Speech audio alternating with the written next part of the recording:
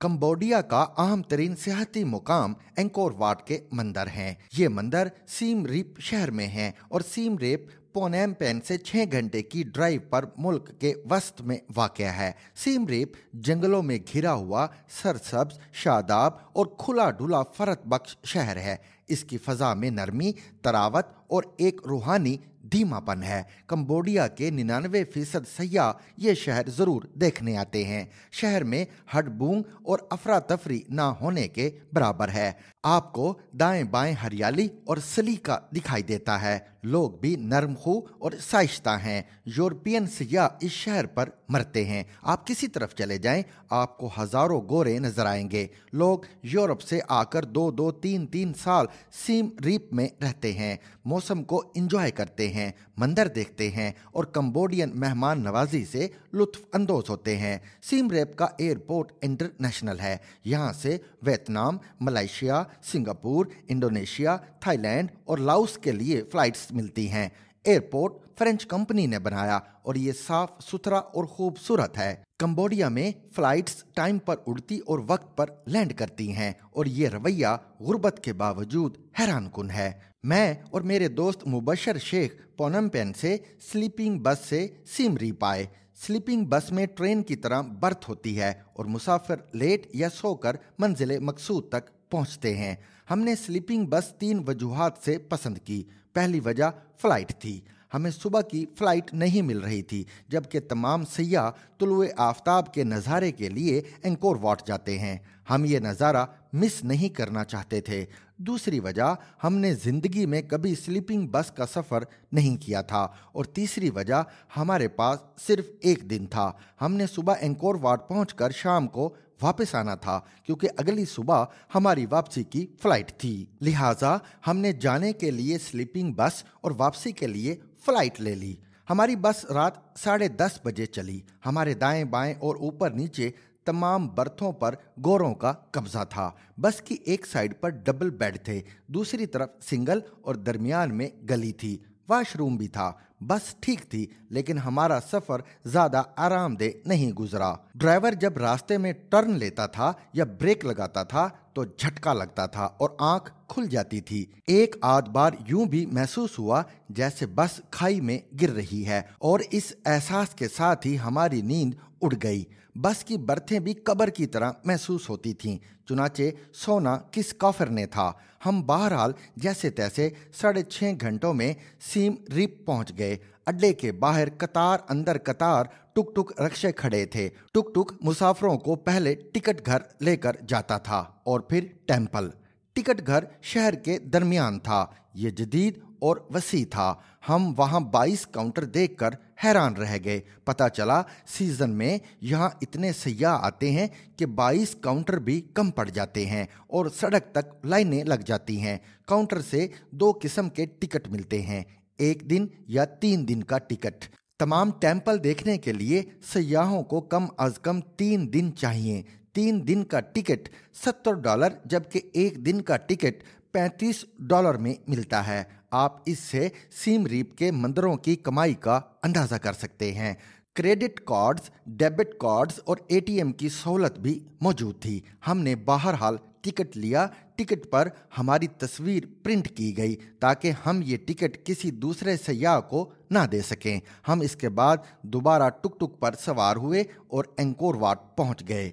ये मंदिर पानी की छोटी छोटी झीलों के दरमियान है और ये हकीकतन हैरान कन कॉम्प्लेक्स है। पत्थर के तवील कॉरिडोर्स के साथ सैकड़ों कमरे हैं, छतें ऊँची और पत्थर की हैं, दीवारों पर हाथ से खोद कर नक्श बनाए गए हैं। पूरे पूरे कॉरिडोर्स में म्यूरल बने हुए हैं। ये महाभारत की कहानियाँ हैं। किसी जगह बादशाह को तख्त पर बिठाया जा रहा है, किसी जगह जश्न चल रहा है और किसी जगह जंग हो रही है। तमाम नक्श पत्थर में बारीक औजारों से बनाए गए हैं और ये हकीकतन कमाल हैं। आप अगर एक बार टेंपल में दाखिल हो जाएँ तो आप इमारतों की भूल भलैयों में गुम हो जाते हैं और हर साइड आपको वर्ताए हैरत में ला फेंकती है। वहाँ दर्जनों इमारतें हैं। तमाम इमारतें बुलंदी पर बनी हैं और ये किसी न किसी तालाब, लॉन, बाग या जंगल में खुलती हैं। सौ सौ फुट ऊँची चट्टानों पर भी मंदिर बने हैं और वहाँ पहुँचने के लिए इंसान को बहुत जद्दोजहद करना पड़ती है। गाइड्स दावा करते हैं, एंकोर वाट के टेम्पल्स जिन्होंने बनाए थे और ये दावा हर कदम पर हकीकत महसूस होता है। ये वाकई इंसानी काम महसूस नहीं होता। इतनी बारीकी और वो भी देव हेकल चट्टानों और पत्थरों पर, ये किसी इंसान के बस की बात नहीं लगती। एंकोर वाट के टेम्पल्स को दुनिया का आठवां अजूबा कहा जाता है। क्या ये दावा सच है? मैं हतमी तौर पर नहीं बता सकता। क्यों? क्योंकि दुनिया की चार इमारतों को आठवां अजूबा कहा जाता है। इनमें उर्दन का गुमगुश्ता शहर पेट्रा भी शामिल है और चीन के शहर शियान में मौजूद टीराकोटा वॉरियर्स के मुजस्मे और पैरों के माचू पिचू के आसार और इंकोर वाट के टेम्पल्स भी। मुझे माचू पिचू के अलावा तीनों जगह देखने का इतफाक हुआ। लिहाजा, सच्ची बात है, मैं इन तीनों में से किसी एक को आठवें अजूबे का टाइटल नहीं दे सका।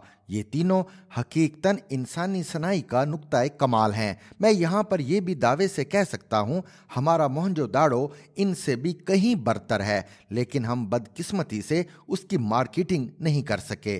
चुनाचे, यहाँ कुत्ते मूत रहे हैं, जबकि बाकी चार मुकामात पर हर साल लाखों सयाह जाते हैं, और ये मुल्क उनसे अरबों डॉलर का सरमाया समेटते हैं। सीम रीप में एंकोर वाट जैसे दर्जनों टेंपल हैं। ये इलाका दरअसल खमीर सिविलाइजेशन का गढ़ होता था। वो लोग आज के वियतनाम लाउस और निस्फ, थाईलैंड के हुक्मरान थे।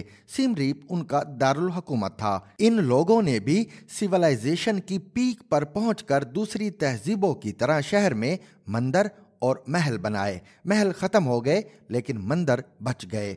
ये सिविलाइजेशन भी बाकी सिविलाइजेशन की तरह बुलंदी को छूकर खत्म हो गई और वो लोग थाईलैंड लाउस और कंबोडिया में बिखर गए। ताहम ये आज भी खुद को खमीर कहते हैं। सीम रीप में टेम्पल्स को देखने के दो वक्त हैं। सयाह तुलु आफ्ताब के वक्त इंकोर वाट के मंदिर में पहुँचते हैं और गरूब आफ्ताब के वक्त बीक हैंग मंदिर से वादी को देखते हैं। हम इंकोर वाट पहुँचे। मंदिर के सामने पानी का तालाब है। तमाम सयाह तालाब के किनारे कैमरे लगाकर खड़े हो जाते हैं। सूरज टेंपल के पीछे से तुलू होता है। आफताब जब मंदिर की सिया पथरीली इमारतों को अपनी गर्म सुर्ख शुआओं से गुदगुदाता है तो वो मंजर वाकई मलकूती और बेकीमत होता है।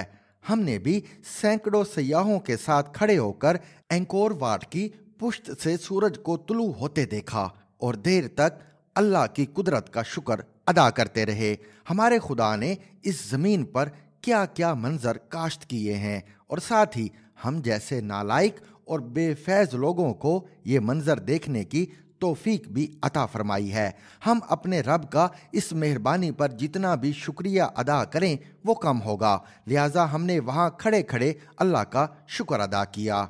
सूरज के सामने झुके मंदिर को देखा और इमारतों के जंगल में उतर गए। ये इमारतें कभी झूठे खुदाओं की सजदा गाहें होती थीं। हमारे सच्चे रब ने कुन कहा, झूठे खुदा यहाँ से फरार हो गए और इसके बाद हमारे सच्चे खुदा ने इस जगह को इबरतगाह बनाकर सियाहों के कदमों में रोन दिया। और लोग आज भी दुनिया जहाँ से सुबह के नज़ारे के लिए यहाँ आते हैं। झूठे खुदाओं की सजदा गाहों को अपने कदमों में रोनते हैं और सच्चे खुदा की किबरियाई का एतराफ़ करके वापस चले जाते हैं। एंकोर वाट का मंदिर आठ बजे तक वीरान हो जाता है। लोग मंदिर देखते हैं, आर्जी कैंटीनों पर नाश्ता करते हैं और होटलों में लौट जाते हैं।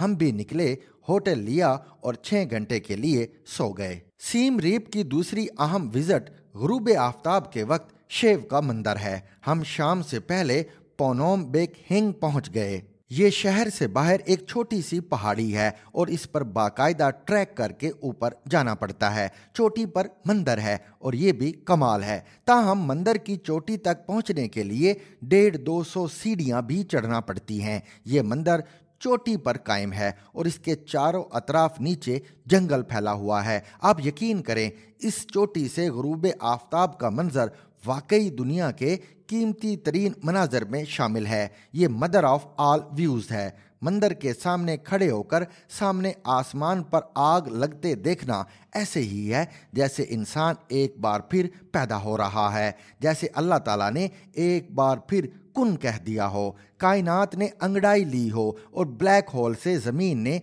जन्म ले लिया हो? या फिर जैसे कायनात की आखिरी सांस आ गई हो और कुदरत ने अपने पसंदीदा लोगों को दम तोड़ती कायनात के आखिरी नज़ारे की इजाज़त दे दी हो। हम सब दम साध कर मगरब की तरफ़ देख रहे थे। हमारे देखते ही देखते सूरज ने ज़मीन का माथा चूमा। आसमान के चारों सिरे खुले और कायनात के खेमे को आग लग गई और दूर मौजूद झील के पानियों ने आग की प्यास बुझाने के लिए उसकी तरफ़ दौड़ लगा दी हो।